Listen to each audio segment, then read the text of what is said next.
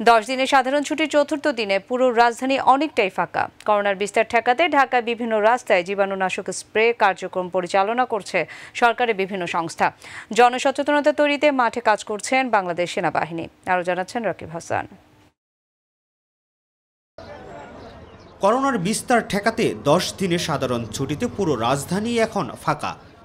প্রতিনিয়তই রাজধানীর প্রধান সড়কগুলোতে জীবাণুনাশক স্প্রে কার্যক্রম পরিচালনা করে যাচ্ছেন সেনাবাহিনী ফায়ার সার্ভিস সিটি কর্পোরেশন সহ সরকারের বিভিন্ন সংস্থা। সামাজিক দূরত্ব বজায় রাখতে জনসচেতনতা তৈরিতে মাঠে কাজ করছেন আইন শৃঙ্খলা রক্ষাকারী সদস্যদের পাশাপাশি বাংলাদেশ সেনাবাহিনীও।